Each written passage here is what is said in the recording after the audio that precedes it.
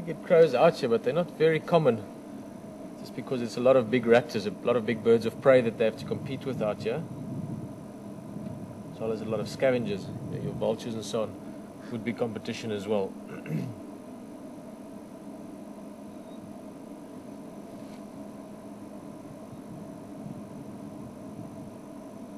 Like I said, it's a pied crow. Normally that chest is a bit whiter even.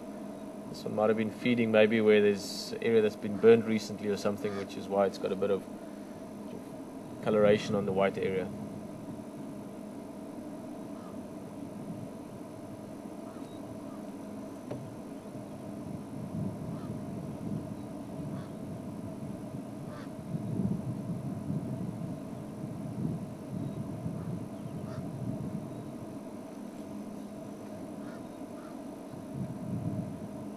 Very adaptable birds. I mean, they can adapt to eating lots of different things. In cities and towns, they're very good scavengers. Out here, they'll eat anything from small mammals and reptiles, insects. They will scavenge if they can get the chance. Although, like I said, competition out here is, is quite, quite rife. Very smart birds as well. And the tame side of things, when people have them since they're chicks, they can even learn to speak.